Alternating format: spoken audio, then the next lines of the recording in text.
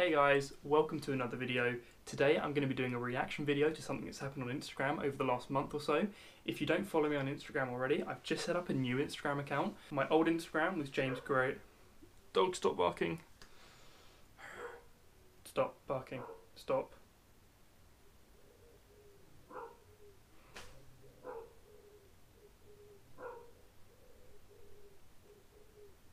Thank you. If you don't follow me on Instagram already, I've just set up a new Instagram account.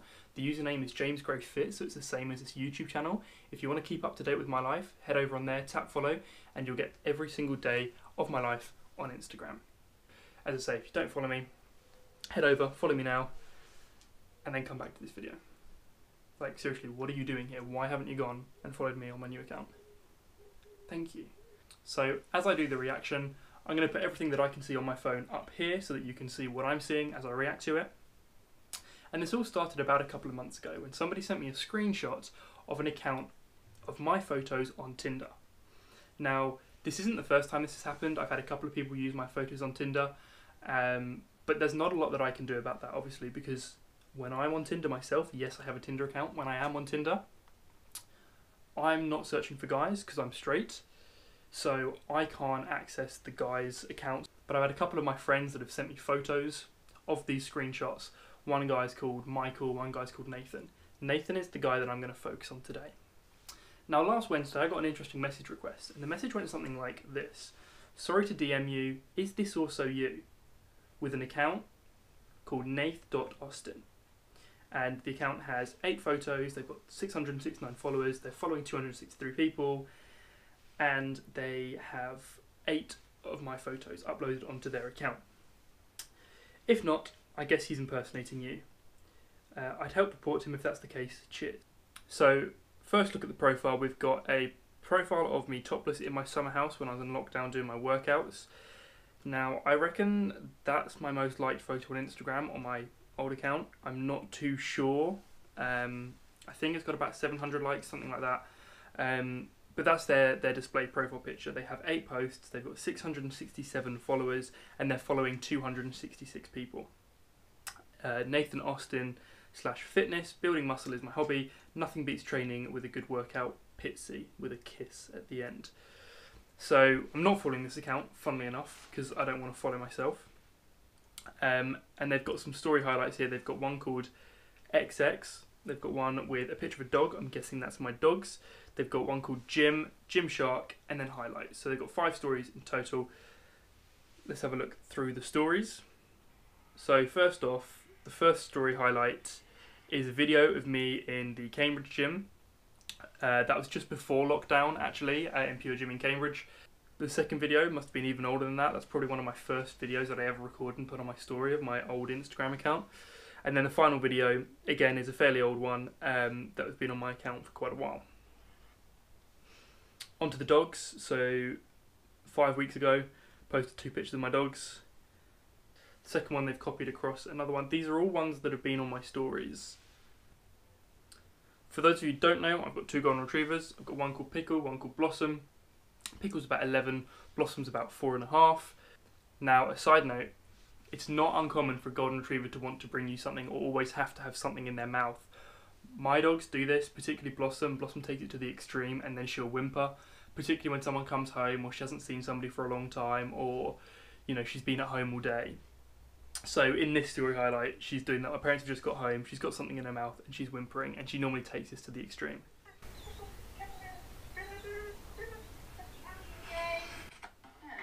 and at the very end of that clip my mum comes in the door and says how are you james not how are you nathan how are you james because funnily enough my name is james i am not nathan so anybody on this person's profile if they get into the dog highlights, immediately they can kind of work out this isn't who they say they are.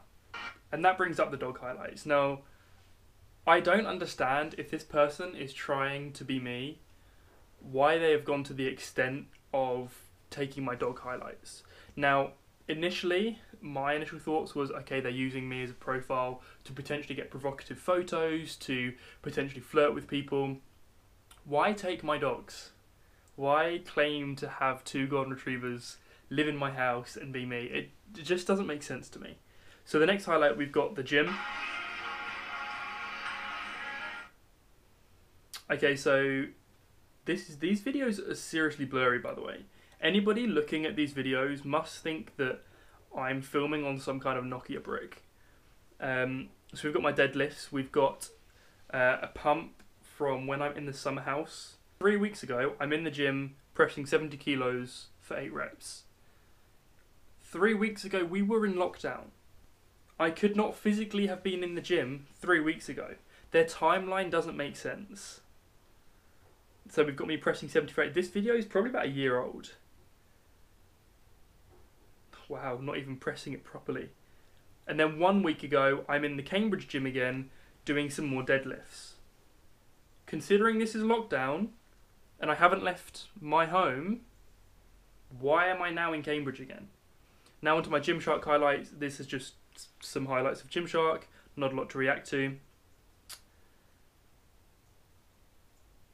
Oh my god. Look bad in selfies, question mark, I would never put that on my story. Like, who would? Even if you're the most vain person ever, why would you put that photo with that caption? That doesn't make sense to me. Everyone viewing this profile must think I'm some sort of mega loser. But hey, so look bad in selfies, kind of embarrassing. So next story highlight we've got fitness. These are more recent. These are actually the right time scale. Um, so this is when I'm running some fitness sessions in the park. Four stories on that highlight. Next one we've got the lift. I quite like this highlight actually. I've just had a look at it. Um, this is a highlight of every photo that I've taken in the lift when I leave the gym. Um, maybe I should put that on my story, but I don't take the photos in the lift anymore. I take the photos in the disabled shower because it's better lighting and I have more time. Also, can we just look at my hair and notice how sometimes my hair is really short and like the next day my hair is really long. No one grows hair that quickly. This person's timeline doesn't make sense, not in the slightest. This person keeps putting kisses at the end of everything they do. I'm not too sure why. I don't think their English is that good because on this story with my friend, um, the caption is "We dead." Now it's either "We are dead" or "We're dead," not "We dead." So I'm not sure this person's English is particularly too good. Um, but yeah, I don't really get the kisses at the end of everything. Right, so that's the story highlights. Um, yeah, take what you will from it. I'm not too sure why they're posting it. It's a very grainy quality. It's not making sense. My hair's really long one minute, really short the next. Just making me out to be some sort of loser. I mean, I am a loser, but they're making me out to be a bigger loser than I am. So let's go on to some of the photos. They've got eight posts. As I say, they've got um, 667 followers. So let's see, out of these 600 followers and the posts they've taken, let's see what they do. So the first post we've got, we've got my most liked photo, which is also their profile picture on Instagram. 141 likes, 8 comments. Um, so the caption, what do you guys want to see me post next? Okay, not too bad of a caption, but really pretending to be me. What do you want to see me post next? Not like you have a choice, because you can't post anything until I've created the content. You don't have any control over what you want to post next. If one of these comments had been like, oh, I want to see you do 100 press ups, there's no way this person can do that because I've never done 100 press ups. Not on camera. So, the next post they've put has got 150 likes. This is my ab routine. This is still on my old profile. Um, this is the ab routine that I still do to this day, actually. Really good ab routine. If you want to go and see it, check it out my profile. I have also made a YouTube video. I'm going to link that here. Um, it's a killer abs, particularly focused on your lower ab set, but this is their second post, 16 comments. The caption is Some of you have been asking for my hashtag ab workout. Well, here it is. One weighted Russian twist, two butterflies, three leg raises, four reverse crunches, five plank, six feet crossovers, seven single leg raises, eight leg raises with oblique twists, and nine the ab roller. All exercises done 45 seconds, followed by a 15 second break. This workout takes 8 minutes 45 seconds and is sure to make you feel that burn. Start off slowly and make sure you focus on contracting your abs. Don't arch your back and put pressure on it. This will take off the focus of your abs, which we are trying to work. I think that's the exact same caption that I uploaded when I uploaded this post about six months ago. So, not too sure why they've copied it word for word, but there we go. The next post we have a black and white photo. The very first word of this caption is spelt wrong. Now, I'm not going to claim that I have the best spelling in the world. You could probably go through my Instagram page and find crap spellings and mistypes and all that kind of stuff. But the very first word on this profile is wrong. One is meant to say one week wait, one week later, and I still don't have anything to post other than a selfie. Yes, you do, Nathan.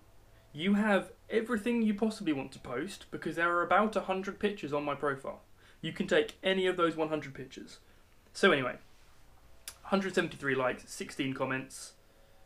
The next post was posted on the 2nd of July. This has 221 likes with 30 comments. The caption Think I need to stop cutting off half my face when taking photos. Ugh, with two kisses and a laughing face. I can't remember why I took this photo. I think I took this photo on Snapchat and liked it, so I saved it about two years ago, maybe a year and a half ago. And then it made its way onto Instagram. Why, I don't know, but it did. Um, and then anyway, this person's reposted it. On the 29th of June, we had a post that hit 220 likes. The caption for this post was getting back into it with the upper body workouts, but I think it's time I need to see someone about my shoulder. This was four weeks ago. Now, in real time, about four weeks ago, I did start having a problem with my right shoulder. Um, nothing too strenuous, but the only place I put this was on my stories. So, for those of you that follow me, you would know that I had been to the physio about my shoulder. Um, so, this person's like taken my dogs, taken my life, and has now even taken my injury onto their fake profile to try and make it as realistic as possible. So, we're going to move straight on to the next photo which was the 25th of June. This has 225 likes. Uh, the caption We all learn as we develop, but sometimes listening is the best tool we have. That's actually quite a good caption, but that has been edited, so not too sure when that was posted. The next post, we have 237 likes. This is a photo from when I started everything. This is one of the original photos I ever posted. I was there in my top, tensing my bicep as hard as I could after a pump in the gym, head down, looking at my phone. Um, yeah, the caption for this photo was good back and bicep day. So, a couple of things to mention. Firstly, all of the photos that this person has taken, particularly for their story, they're really grainy, they're not very good quality, they're quite poor photos uh, and videos, so I'm guessing they're using some sort of third party app to do this, or I'm not too sure how it works because I've never done it. I don't intend to pretend to be anyone else. So, very poor quality photos. If you look at the story timeline, stuff doesn't add up. I'm in the gym when we're in lockdown. This guy's allegedly from Essex, so they understand that the UK is in lockdown. It's not like they're from elsewhere in the world. Um, my hair changes lengths quicker than I can change clothes, so the way that they've cut and chopped their story highlights in particular doesn't make sense. Um, and finally, you can hear my mum say my name in one of the story highlights. It just doesn't make sense. So I'm going to kind of leave that there. If they want to pretend to be me, they can pretend to be me. But what I'm not okay with is the harassment. I actually reached out to three people on this page just to let them know that the person they're talking to isn't the person that they're pretending to be.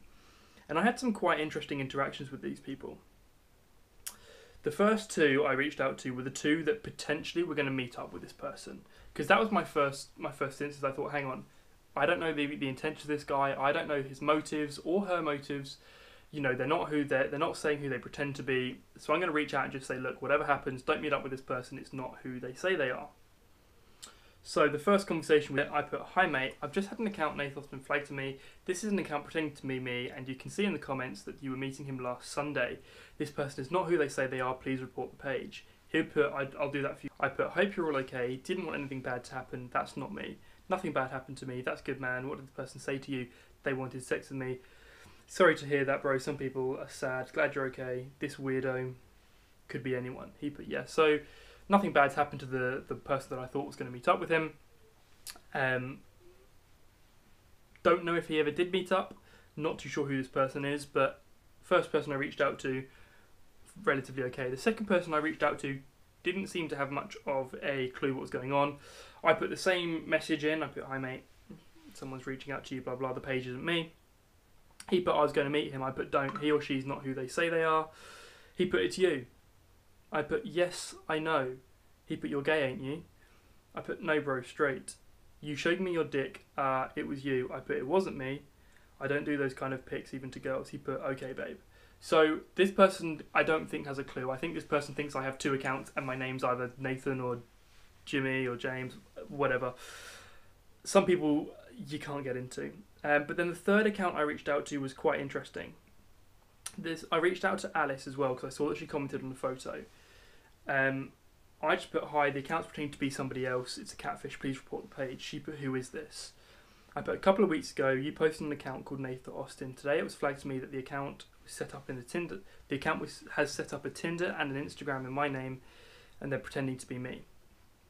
She put, oh my god, WTF. If you are, don't meet him as he is not who he says he is. I would definitely not meet him. I've just liked I've just liked you comment from my hockey page so that you can see that I'm referring to. Thank you for telling me.